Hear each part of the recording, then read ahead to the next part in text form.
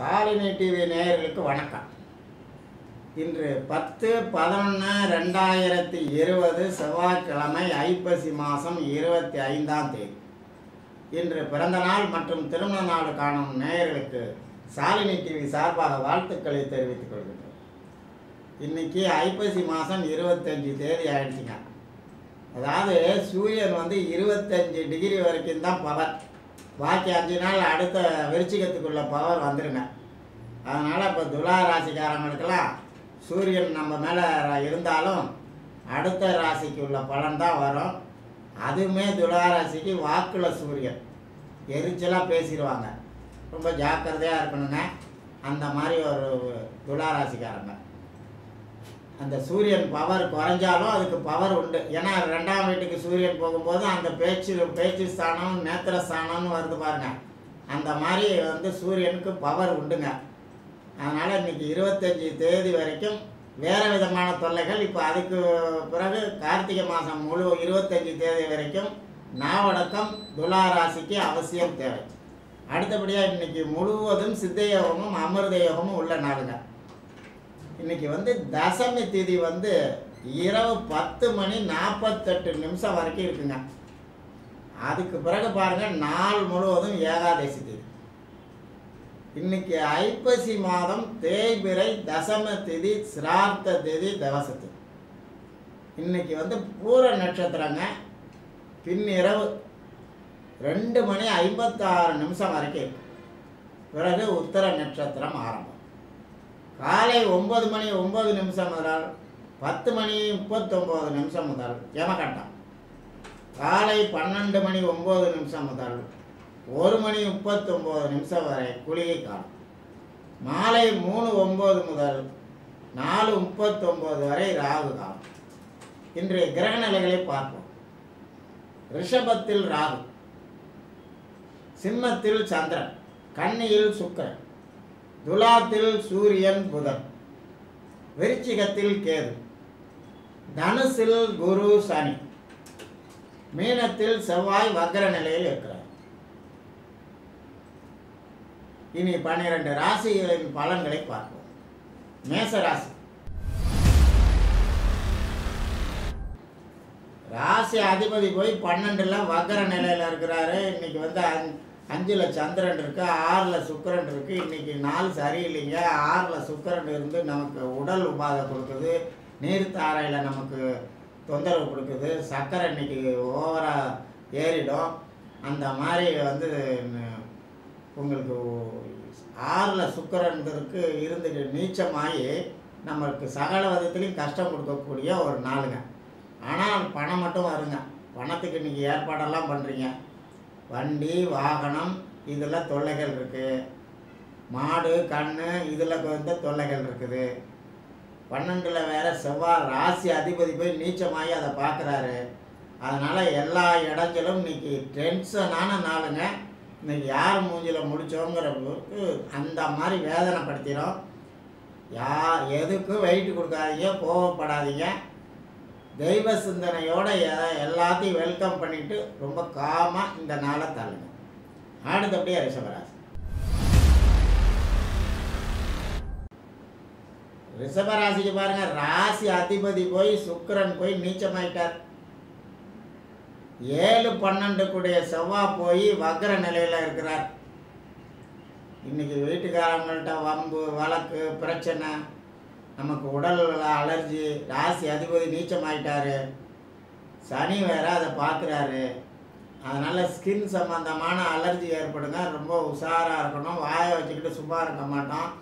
ஏதாவது துடுக்குத்தனமாக வேற பேசிடுவோம். வாக்காதிபதி புதன் ஆறில் இருக்கிறாரு. எதிரி ஸ்தானத்தில் இருக்குது பேசி வம்பு பண்ணி வழக்கு பண்ணி நம்ம மாட்டிக்குவோம். ரொம்ப உஷாராக இருங்க. நிதானமாக பேசுங்க. இன்னைக்கு வந்து ராசி அதிபதி நீச்சத்தில் இருக்கிறார். ஸ்ரீரங்க ரங்கநாத பெருமாளை நினச்சிக்கிட்டு தெய்வ சிந்தனையோடு இந்த நாளை தள்ளுங்க. இன்னைய பொறுத்த வரைக்கும் நாள் சரியில்லை. அடுத்தபடியாக மிதுன ராசி மிதுன ராசிக்கு பாருங்க சந்தோஷமாங்க இன்றைக்கி இன்னைக்கு. வாகன யோகம் கிடைக்கிது பொண்ணு வருது பொருள் வருது. எல்லா வகையிலும் இன்னைக்கு யோகங்க. பணம்லாம் கிடைக்குதுங்க இன்றைக்கி பணம் வருது ஒரு தடவை ஒன்றுக்கு ரெண்டு தடவை பணம் வருதுங்க. அந்த மாதிரி இன்னைக்கு யோகங்க. எல்லாமே இன்னைக்கு பேச்சுத்தன்மையால் எல்லா காரியமும் ஜெயிச்சுக்கிறோம். என்னன்னு கேட்டிங்கன்னா நாளில் சுக்கரன் இருக்கிறாரு. நீச்சமாக இருந்தாலும் அந்த வீட்டுக்குடைய புதன் ராசி அதிபதி புதன் பரிவர்த்தனையில் இருக்கிறாரு.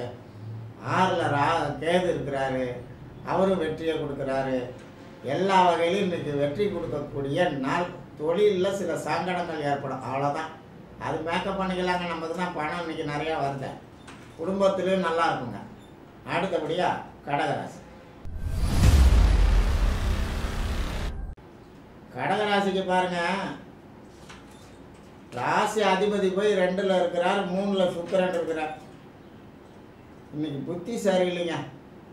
நமக்கு வந்து சுக்கரன் போய் நீச்சத்தில் இருக்கிறாரு அந்த வீட்டுக்குடைய புதன் போய் பரிவர்த்தனையில் இருக்கிறார். இன்னைக்கு ஆபரண வகையில் நஷ்டங்க. காதில் வந்து தொல்லை இன்றைக்கி அதிகமாக கொடுக்கும். அந்த மாதிரி ஒரு நாள். இன்றைக்கி வந்து சந்திரன் ரெண்டில் இருக்குது நாமளே வந்து வீ- த- தனஸ்தானம் குடும்பஸ்தானங்கிற இடத்துல போய் இருந்து அந்த சூரியன் போய் நீச்சமாக இருக்குது. கோபம் அதிகமாக வந்து இன்றைக்கி பேசி சங்கடப்படுத்தக்கூடிய நாள். அதனால் நாவடக்கம் தேவை. கடகராசிக்கு ஃபுல்லாக பார்த்தீங்கன்னா இந்த ஐப்பசி மாதம் கெட்ட பேர் நிறையா வாங்கியிருப்பாங்க. எந்த வகையிலன்னா இந்த மாதிரி இல்லையா?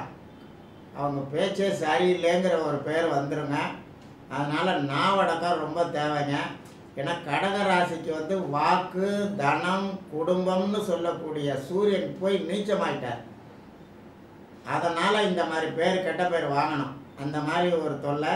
ஏன்னா ஆறில் வேற குரு இருக்கிறார். அப்போ அந்த குரு வந்து நம்மளுக்கு எதிரியை கொடுத்துருவார் பகையை கொடுத்துருவார். ஆறில் குரு ஊரில் பகைன்னு சொல்லுவாங்க. அந்த மாதிரி குரு பயிற்சி வரைக்கும் கடக ராசிக்காரங்க அடக்கி வாசிங்க.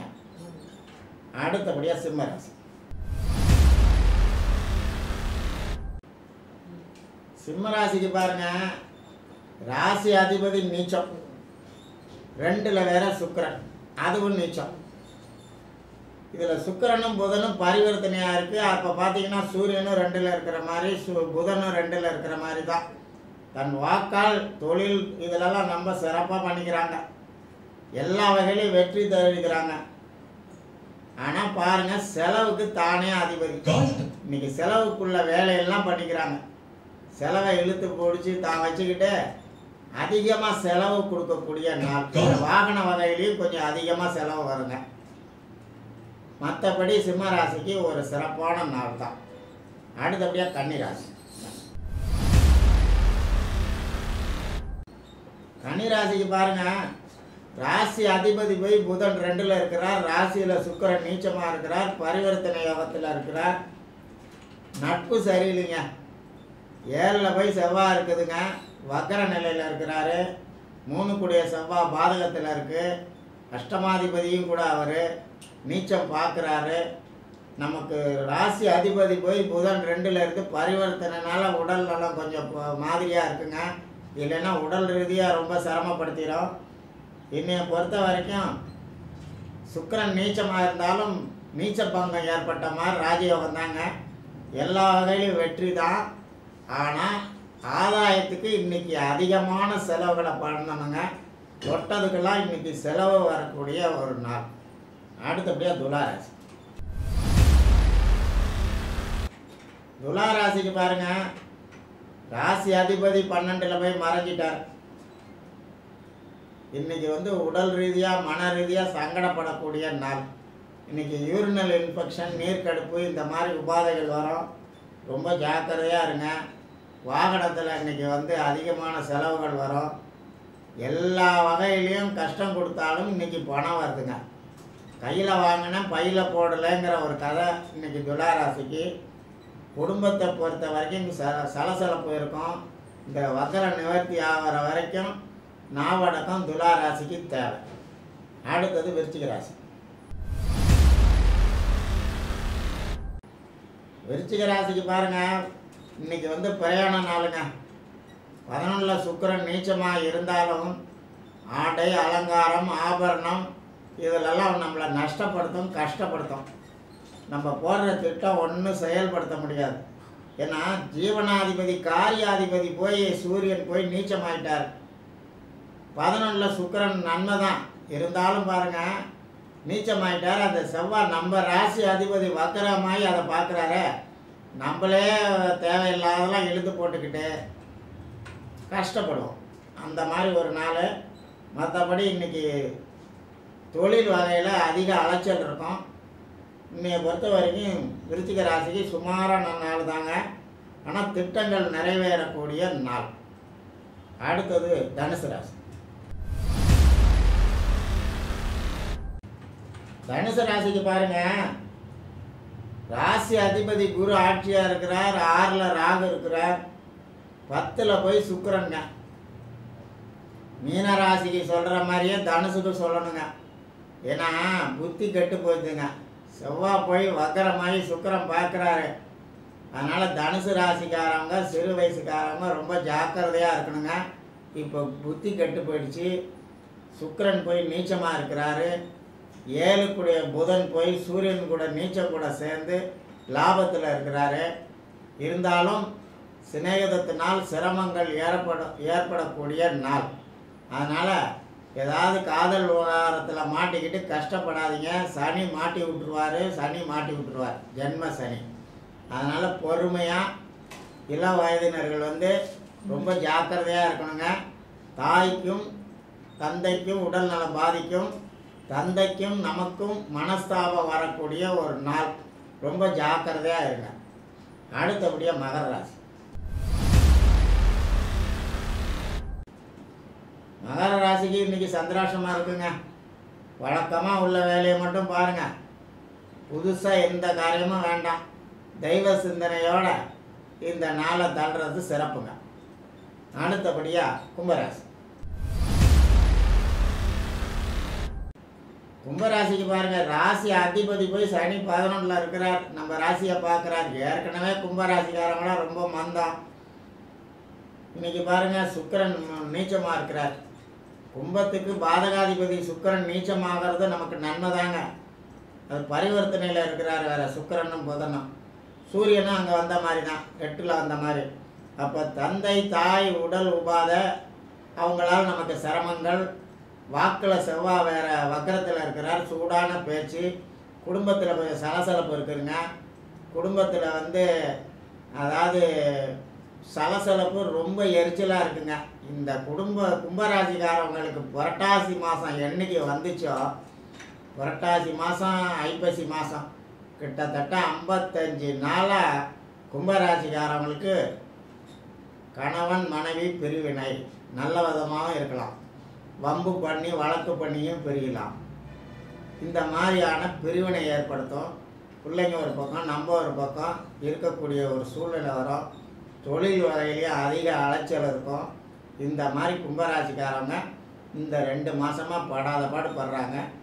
இன்னையை பொறுத்த வரைக்கும் வாகன தொல்லை கொடுக்குது பிரயாணம் ஏற்படுத்துது.